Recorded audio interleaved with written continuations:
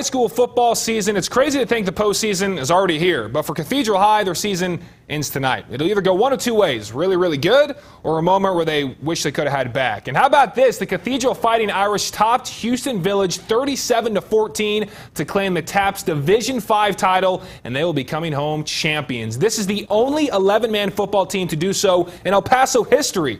Congrats, man, and we'll be, of course, catching up with them in the coming days. And